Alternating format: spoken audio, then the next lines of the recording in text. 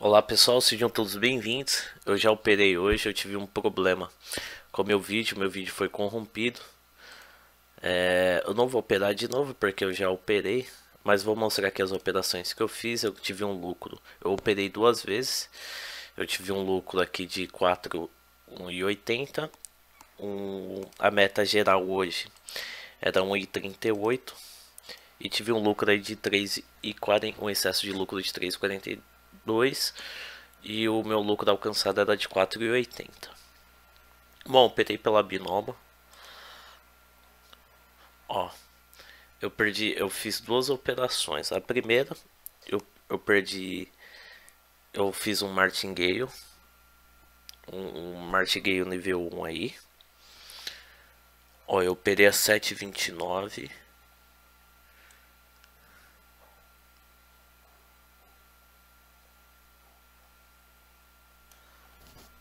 Ó, eu perdi aqui, é que aqui o meu relógio tá com problema de novo. Deixa eu atualizar aqui só pra falar que eu não tô falando que eu tô enganando vocês aí, pessoal. Cadê configurações, ajustar data e hora? Que meu Windows não sei que merda que ele tá aqui. Que eu, a hora tá atrasada. Deixa eu atualizar aqui.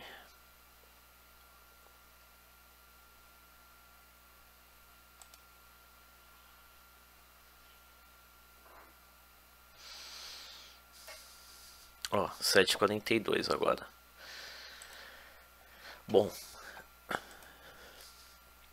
eu fiz a primeira operação de 4 reais.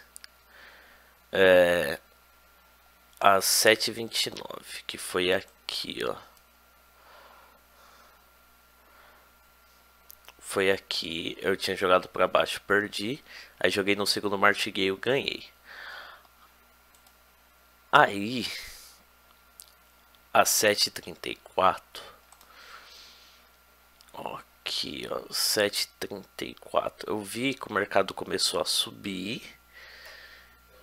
E eu vi aqui, e chegando próximo da, da barra superior da banda de Bollinger. Eu vi que começou a perder força aqui junto com o histograma. Então resolvi operar. E eu tô vendo uma nova oportunidade aqui. Eu acho que eu vou operar de novo. Eu tô vendo que tá perdendo força aqui, ó. Porque o tempo restante está 17. Eu não quero operar nesse...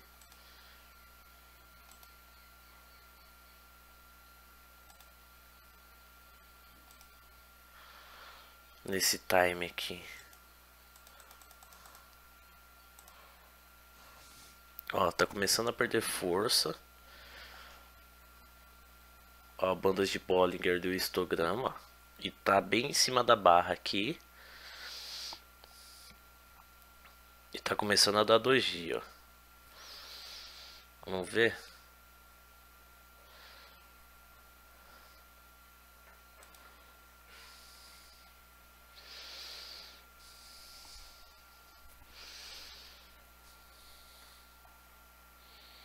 Eu vou deixar aqui o martingale no esquema.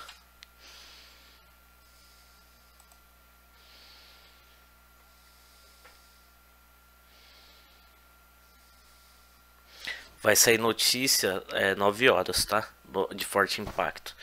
Então a gente tem uma horinha aí. Teve uma horinha pra, pra poder. pra poder investir. Pra poder operar, né?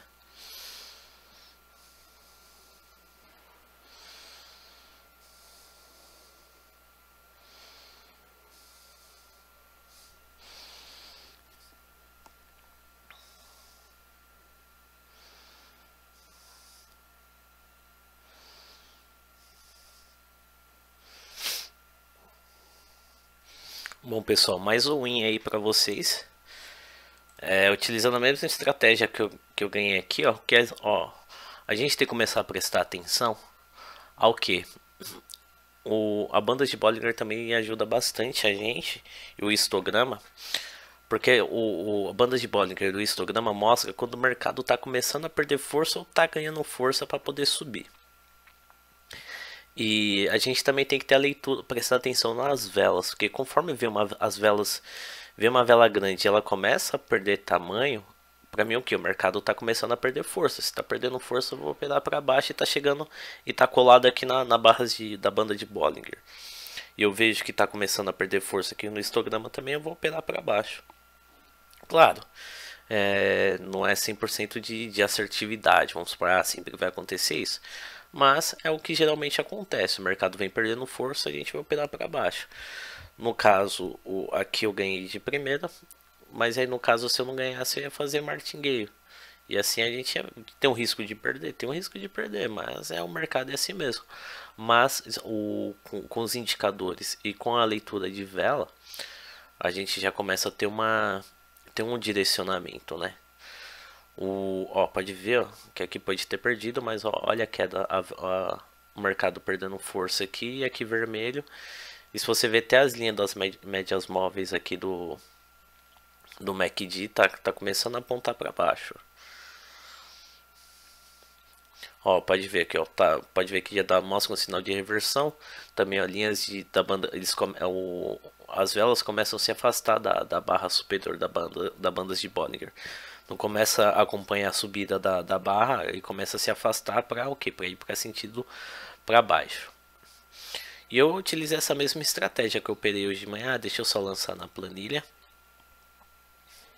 Fiquei 7,20 menos 4, 3,20 de lucro. Vamos lá na binomo.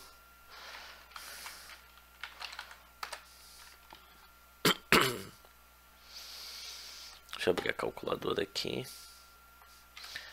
4.80 mais 3,20, que eu já ganhei 4,80 hoje, 8 reais. Então hoje eu tive um lucro de 8 reais, tive um excesso aí de 7,73.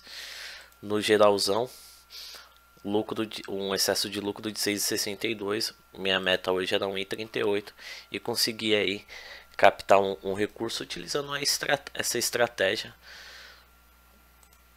da, da bandas de Bollinger e, e, e o MACD. As configurações da bandas de Bollinger, opa, não, não é aqui não. As configurações da banda de Bollinger e do, do MACD eu vou estar tá deixando aí para vocês. O do MACD a passagem rápida é 12, período de sinal 9 e a passagem lenta 26. Uh, e a banda de Bollinger, desculpa pessoal, e a banda de Bollinger, período 14, o campo é fechado, o tipo de média móvel, média móvel é simples mesmo, estou utilizando o desvio padrão 2. Bom pessoal, espero que vocês tenham gostado. É, essa estratégia tem me ajudado muito. Quem quiser utilizar, acredito que vai ajudar bastante vocês aí também. Lembrando que hoje vai sair notícia de forte, forte impacto daqui a pouco, 9 horas. Perspectiva energética de curto prazo. E às 11 horas também vai sair duas notícias de forte impacto, que vai movimentar o mercado do dólar e às 10 horas do euro, o de 3 estrelas também. Bom, pessoal, espero que vocês tenham gostado. Um grande abraço, fiquem com Deus. Até amanhã.